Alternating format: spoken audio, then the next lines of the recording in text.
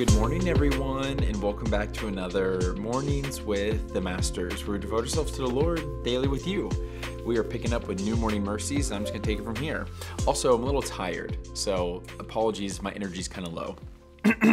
but I kind of pre read some of this, and I know that God's energy is not low. His energy's at an all time high, and so I'm expectant that He's going to perk us up this morning. Okay, the devotional says this. The temporary pleasures of this present world are meant to point you to the lasting pleasures of knowing God. This story in John chapter 6 didn't end the way the crowd thought that it would. When they found him on the other side of the sea, they said to him, Rabbi, when did you come here? Jesus answered them, Truly, truly, I say to you, you are seeking me, not because you saw signs, but because you ate your fill of the loaves. Do not work for the food that perishes, but for the food that endures to eternal life, which the Son of Man will give to you.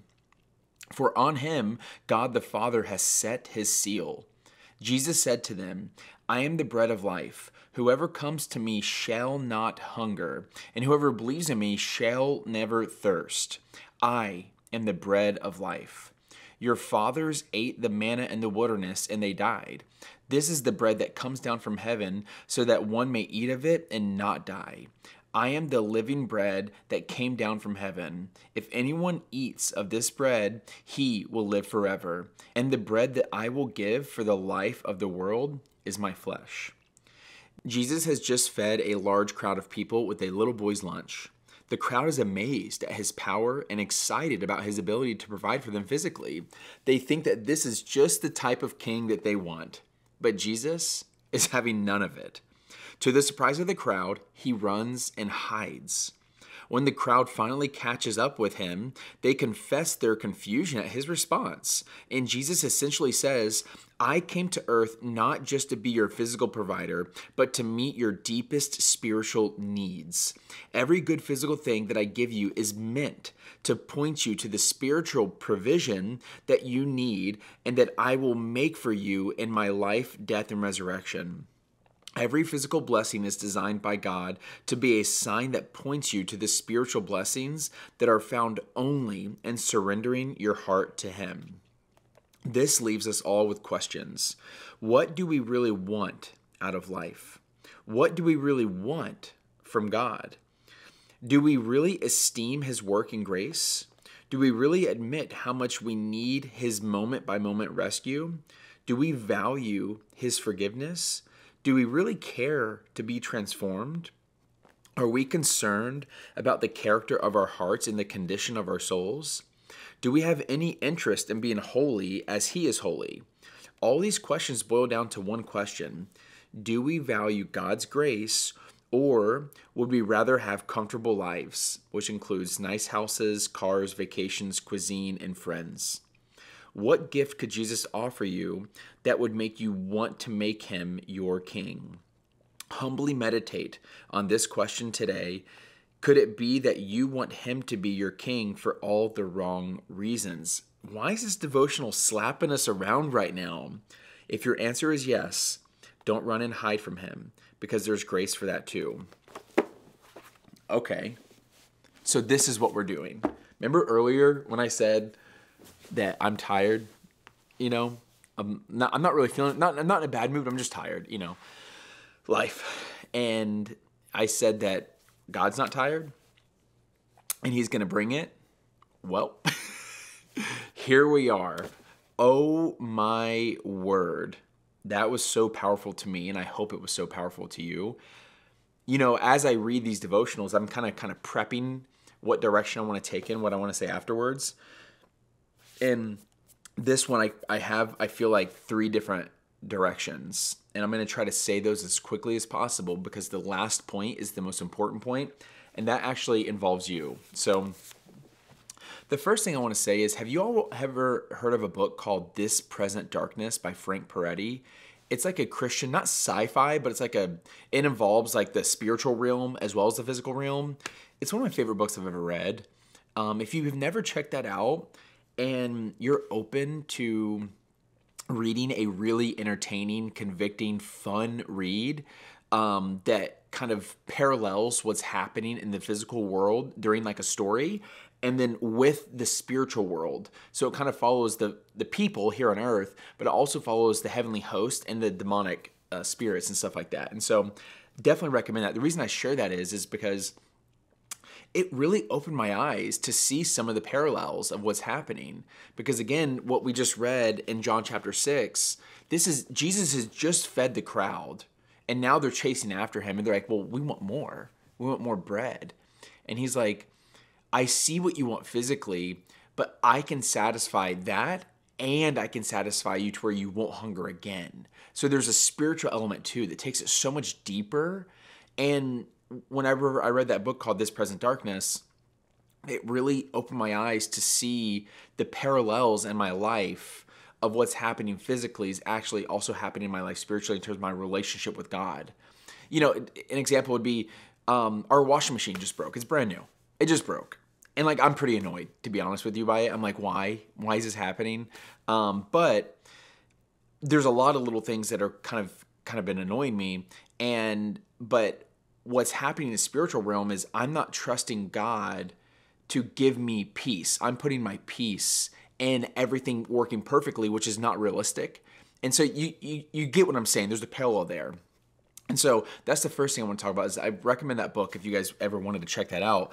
The second thing was this question of could it be that you want God to be your king for all the wrong reasons? And that was just powerful. And I mention that is because everyone who's listening to this or watching this, we're all believers. We all want to honor God. We all want to serve Him. We want to experience Him. Like, yes, but is it for the right reasons? Because I'm not talking about whether we want to serve God or not. That's a whole different ball game for like people maybe who aren't following the Lord or they're not Christians, but we are. And so, how do we unpack any disconnect that we have about actually saying, yes, I do want Him Lord and King over my life, but for what reasons? And so that's the second thing that I really wanted to point out. Um, because I know when I first gave my life to Christ, I thought my life was going to get easier, and it actually got a little harder, uh, but in a good way. I had to learn how to die to myself. I had to learn to say no to myself. I had to learn not to go off of every like impulse decision that I wanted where I'm just trusting my feelings. I had to I had to like really wrestle with myself a lot. And my life got harder and there was a piece of my life where I thought God was just going to make my life better immediately. And so there's this idea of like okay, well who is God actually to me? And that leads me to the third part and the final part. If you all have some time, and I know we all do, we got to prioritize time. I really recommend that you go through these questions because after reading them, I was like, wow. And I think what's important um, is to not give your Christianese answer, and I won't do it either. So I just took like a spiritual gifts test and a, a few other tests, right? And um, Tori and I are learning how to craft like a mission statement for our family, and we're taking these like tests. And then as you're going through these questions, I started selecting answers of who I wish I were, or who I who I think I am versus who I actually am. And so I don't say that in a way to like self-hate at all. I just I just need to be realistic with myself in this moment. And so I had to go back through and be like, okay, like the the person who struggles with perfectionism and people pleasing wants to choose this answer, but I actually am this answer. And so as you go through these questions, I'm going to reread them and I just want to encourage you to answer them truthfully because God knows your heart and this will help unpack where you are versus where you want to be. And so, and maybe all the answers are perfect for you. I'm just saying, it, could be a lot of fun. So, the questions are this What do you really want out of life? What do you really want from God? Do we really esteem His work of grace? Do we really admit how much we need His moment by moment rescue? Do we really value His forgiveness?